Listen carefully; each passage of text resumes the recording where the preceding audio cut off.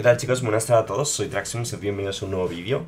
Vamos a comentar el anuncio del nuevo DLC de, Stellaris, First Contact, que es un DLC estilo historia, que llevan bastante tiempo sin sacar un DLC de este tipo.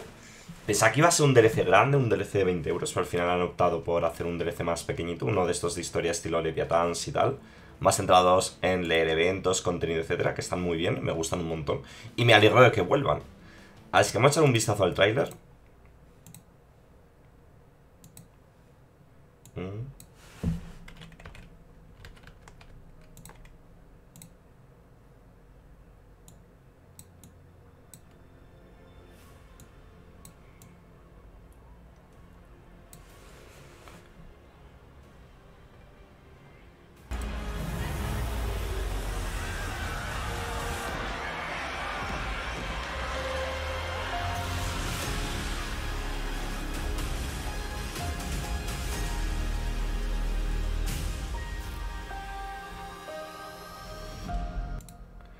Ok, eh, trailer mm, tranquilito, la verdad. Dice, pues enhorabuena, tu, tu país ha sido elegido, tu planeta ha sido elegido. Y como que están de celebración, ¿no? Está bastante, bastante chulo. Y va a llegar junto al parche 3.7 Canis Minor, o sea, lo sabíamos. Eh, no hay mucha sorpresa en ese aspecto, así que bastante bienvenido eso. Durante muchos años, bueno, tu gente ha mirado a las estrellas maravillándose, ¿qué habrá más allá, no? Cuando nos conocimos, cuando los conozcamos serán amigos o enemigos. Eh, vamos a ser los que los descubran, o si están ya allí, em, escondiéndose o algo así. Este pack de historias se centra en las experiencias de aquellas eh, civilizaciones que no han descubierto el viaje em, más rápido que la luz tanto desde el punto de vista de las civilizaciones en sí mismas como desde los observadores. El sistema de observación ha sido rehecho con nuevos sistemas relacionados con distintas estadísticas de la civilización que van a ser la concienciación, la diplomacia y el espionaje. Nueva información puede ser aprendida de observar civilizaciones que no hayan sido corruptas por la galaxia en sí. El universo es cruel pero también inspirador. Aquí vemos que hay nuevos orígenes. Hay dos nuevos orígenes. Uno es Payback que es como devolución, ¿no? Algo así. Y romper las cadenas, que están relacionados con las luchas de los imperios contra la opresiva, las opresivas industrias especializadas de Minamar. Vale, que esto implica, pues, obviamente que van a estar muy centrados en... Que van a estar muy, muy centrados en, en, en, esta, en este imperio, ¿no? A nivel argumental para este DLC. Yo pensaba que habría como distintos imperios relacionados con todo el tema de las especies estas, pero parece que el más importante va a ser este. Y hay un último eh, origen que se llama el temor a la oscuridad, que examina la delgada línea entre la paranoia y la prudencia. Eh, y que todos estos tres orígenes van a estar muy centrados en la narrativa. Este de la prudencia tiene algo que ver, yo creo, con, con el universo del, Bosque Oscuro, creo que se llamaba, que era un universo en el que, eh, si no me equivoco, o sea, no he leído el libro ni nada, ¿vale? Pero creo que el rollo que los... los eh, estas civilizaciones que aún no han descubierto el viaje intralumínico, o sea, aún no han, aún no han llegado a contactar con la galaxia exterior, tienen miedo de hacerlo porque en cuanto les detecten, ¿no?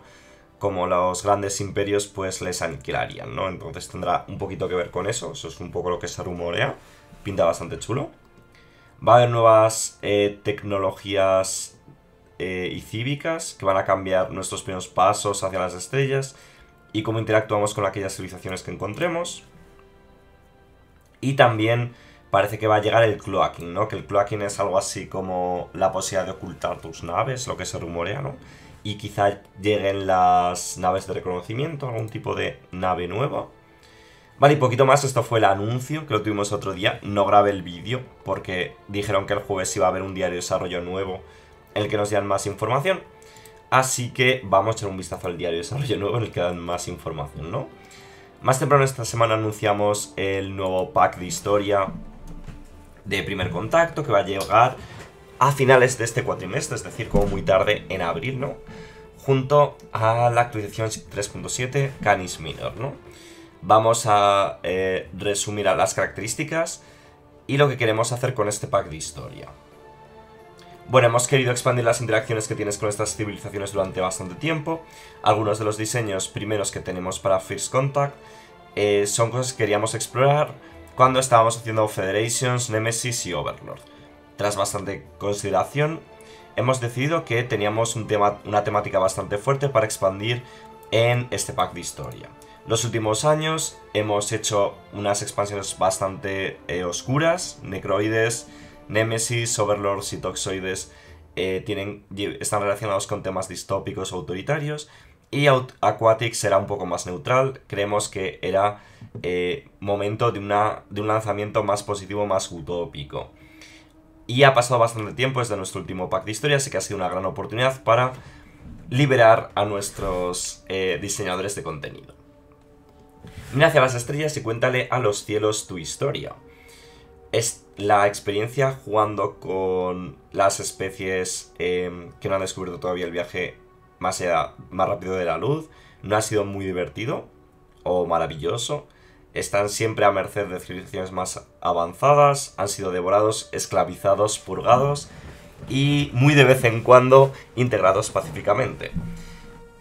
Bueno, cuando les dejabas a sus anchas, normalmente se destruían a sí mismos en un fuego nuclear o conocían su fin con unos asteroides, su vida era bastante dura. Uno de nuestros objetivos con Overlord será hacer la basalización más divertida, ya fueras un señor o un vasallo, y queríamos hacer las interacciones con estas civilizaciones más interesantes y robustas. Debería haber razones válidas para considerar la observación y la no interferencia, y también queremos tomar la oportunidad de hacer estas interacciones que tengamos un poco más significativas y mejorar eh, los sistemas que ya existen en el juego para, eh, o sea, utilizar eh, y actualizarlas para que usen estos sistemas que hemos añadido recientemente al juego. Estas civilizaciones que aún no han descubierto el viaje, bueno, estas civilizaciones pre-FTL, vamos a decirlo así, ¿vale? Ahora van a progresar a través de las eras tecnológicas en orden y vas a tener más formas de influenciar su progreso. Te va a permitir hacer cosas cómo iluminar una civilización antes de escoger otros acercamientos para lidiar con ellos. Iluminar se entiende, eh, pues hacer que avance tecnológicamente, ¿vale? Hemos introducido también un nivel de concienciación, concienciación un poco de lo que se conoce, de lo que existe en el exterior, que puede afectar cosas como cómo de rápido avanzan y qué tipo de interacciones puedes realizar con ellos. Las cosas que sucedan a una civilización pre-FTL en su sistema pueden acabar puede hacer, eh, pueden darse cuenta de qué cosas estás haciendo en su sistema, ¿no? Los astrónomos del Renacimiento pueden encontrar tu puesto de observación con sus telescopios y observar una batalla interestelar que ha ocurrido en el sistema. Incluso los filósofos de la era de bronce pueden comentar el hecho de que la luna acaba de explotar y quizá no haya sido una ocurrencia natural. Los eventos antiguos eh, han sido mejorados a los estándares actuales y muchas de las misiones de observación que previamente estaban localizadas en el puesto de observación han sido divididas en eh, distintas operaciones de diplomacia y de espionaje. Y aquí estamos viendo la nueva interfaz que tienen estas civilizaciones. En este caso, pues vemos cómo están en, una, en un estadio espacial temprano, que sería probablemente, la, parece que es la última fase antes de convertirse en un imperio interestelar, ¿no? Revelar nuestra presencia o construir una red de espionaje podemos hacer. Aquí tenemos otro, el primer contacto con la sociedad Satorian. Tenemos varios acercamientos. Hemos añadido incentivos para hacer que sigan existiendo y prevenir que sean culturalmente contaminados por civilizaciones más avanzadas. Las civilizaciones que viajan por el espacio generalmente eh, están de acuerdo en algunas cosas como las leyes básicas de la física y la existencia del número cero, alguna vez el camino que tomemos puede revelar resultados inesperados. Parece que hay distintos caminos para lidiar con estas civilizaciones sin que tengan que dejar de existir, ¿no? De forma interesante.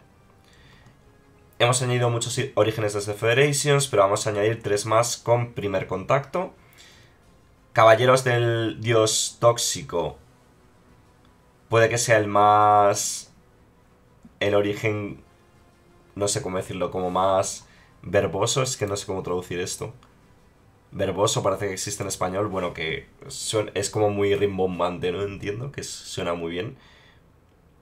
Bueno, los tres nuevos van a tener eh, inicios temáticos de tecnología más baja, con fuerte narrativa y temas mecánicos.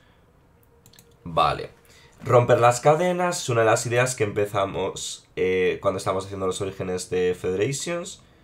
En ese día se llamaban esclavos que se han escapado. Originalmente eh, estaba centrado en ser mecánico. Mm, y va a tener unas condiciones iniciales distintas.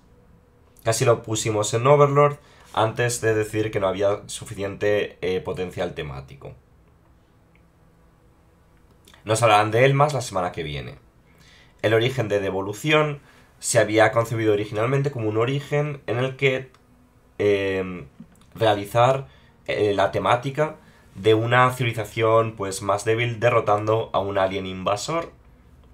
El arte de los eventos está relacionado con esto. Y nos sonará si hemos visto el tráiler de anuncio, ¿no? Va a ser un, un origen desafiante. Y nos hablarán más de él en el futuro. Durante el desarrollo pensamos, ¿no sería interesante si dos orígenes estuvieran enlazados eh, con el mismo imperio como su némesis? Esto nos llevó a desarrollar las industrias especializadas de Minamar, que es la megacorporación más noble, más noble de la galaxia, eh, que llevan un montón de civilizaciones a, a, la, a la mejora tecnológica a cambio de un pequeño precio. Y finalmente exploraremos la línea entre, entre la paranoia la prudencia en temor a la oscuridad. También podría ser un origen desafiante, pero hemos decidido que simplemente sea distinto en vez de ser difícil, ¿vale? ¿Cómo piensas que reaccionaría si un día Venus explotase? Ok. No creas en tus órganos oculares. Es difícil mantener un perfil bajo cuando el puesto de observación es claramente visible estando ahí en el cielo. Bueno, parece que vamos a tener aquí una nueva tecnología.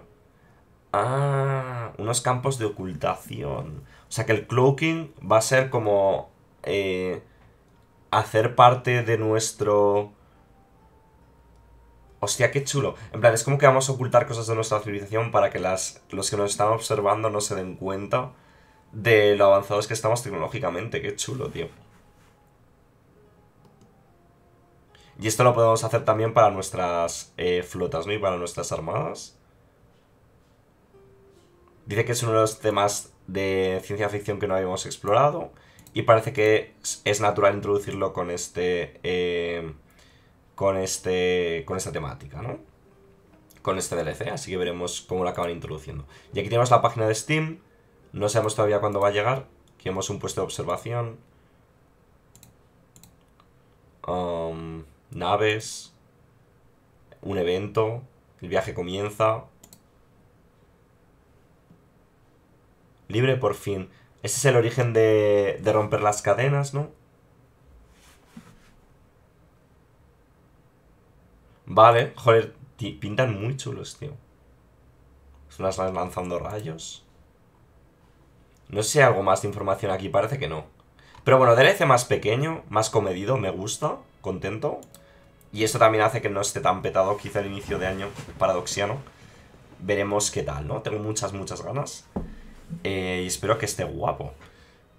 Bueno, pues la semana que viene tendremos más novedades. Supongo que nos contarán ya cosillas de algún origen, etcétera. Poco más que decir, chicos. Nos vemos en el siguiente vídeo.